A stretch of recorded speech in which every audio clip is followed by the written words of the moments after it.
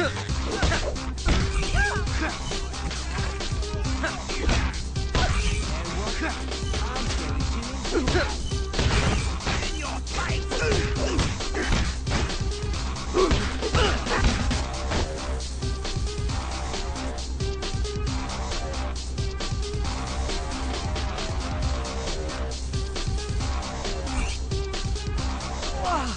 is there a doctor in the house?